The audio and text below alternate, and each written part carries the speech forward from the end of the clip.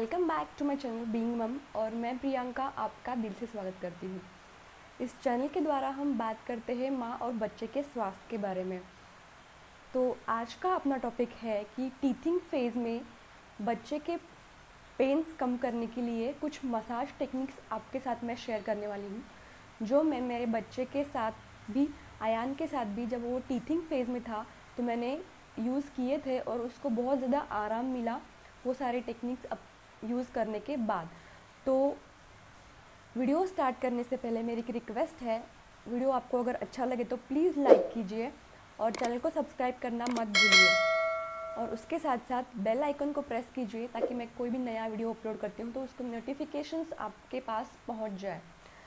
तो टेक्निक्स के बारे में बात करते हैं। मसाज स्टार्ट करने से पहले अपने हाथ साबुन से अच्छी तरह से धो ले और अपने नाखून छोटे काट ले, क्योंकि इसकी वजह से बच्चे को हार्म हो सकता है।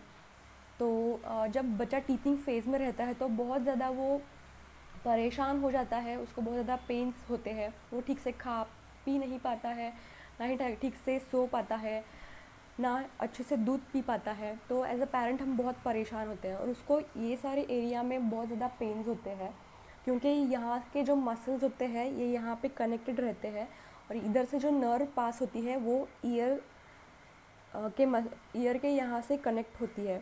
तो इसलिए बच्चा जब टीथिंग फ़ेज़ में रहता है तो उसे वो बहुत बार कान खींचता है। तो इसमें जो फ़र्स्ट टेक्निक है हेड मसाज तो इसमें आपको ये दो फिंगर्स यूज़ करने हैं।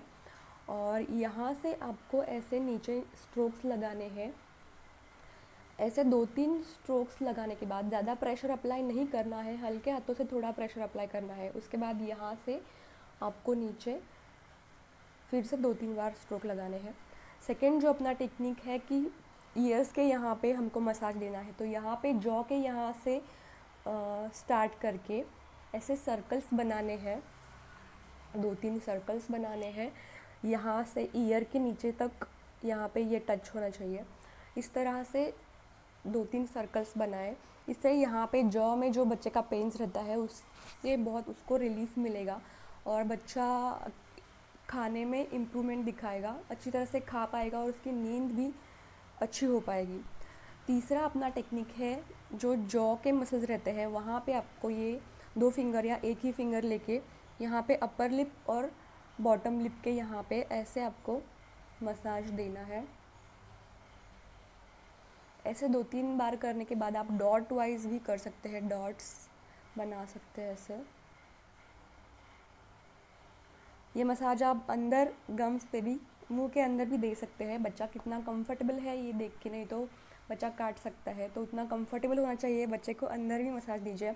यहाँ पे जब गम्स बहुत ज़्यादा स्वेल होते हैं और बहुत ज़्यादा इन्फ्लेमेशन रहता है उस पर तो आप बर्फ़ का टुकड़ा एक कॉटन के कपड़े में ऐसे बना के वैसे उसको यूज़ करके भी मसाज कर सकते हैं, लेकिन ठंडी के मौसम में ये नहीं करना चाहिए क्योंकि बच्चे को सर्दी लग सकती है। अपना फोर्थ मसाज टेक्निक है रिफ्लेक्सोलॉजी पॉइंट्स पे।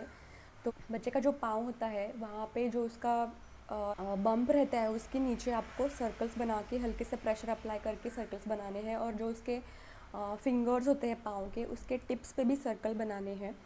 तो इससे भी बच्चे को काफ़ी ज़्यादा राहत मिलेगी। तो उम्मीद करती हूँ कि ये टेक्निक्स आप अपने बच्चे के साथ यूज़ करेंगे। अगर आपके जान पहचान में कोई ऐसा टीचिंग फ़ेज़ में बच्चा है तो उनके पेरेंट्स के साथ आप ये वीडियो शेयर कर सकते हैं। या जो कोई प्रेग्नेंट लेडी है तो उसके साथ भी आप ये वीडियो शेयर कर सकते हैं, ताकि उनसे, उनको भी इस वीडियो के इन्फॉर्मेशन से फ़ायदा हो। तो मिलेंगे नेक्स्ट वीडियो में एक नए टॉपिक के साथ। तब तक के लिए टेक केयर बाय बाय